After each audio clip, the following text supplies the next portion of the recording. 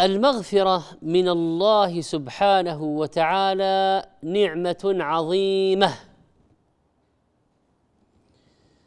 وما من طاعة إلا وهي من أسباب الفلاح وفتح أبواب الرزق ونزول البركات وما من معصية إلا وهي سبب لبلاء وشر وعقوبة. وطلب مغفرة الذنوب دعاء عظيم للأنبياء والمرسلين. ربنا ظلمنا أنفسنا وإن لم تغفر لنا وترحمنا لنكونن من الخاسرين. وقال نوح والا تغفر لي وترحمني أكن من الخاسرين. وقال إبراهيم ربنا اغفر لي ولوالدي وللمؤمنين يوم يقوم الحساب. وقال يونس عليه السلام لا إله إلا أنت سبحانك إني كنت من الظالمين. وأمر الله نبيه بالاستغفار فقال فسبح بحمد ربك واستغفره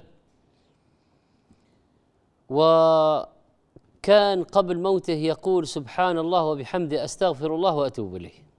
سبحان الله وبحمده أستغفر الله وأتوب إليه كما جاء في البخاري ومسلم. ولا هو الذي علمنا وقال لنا والله إني لأستغفر الله وأتوب إليه في اليوم أكثر من سبعين مرة. وفي رواية وإني لأستغفر الله في اليوم مئة مرة.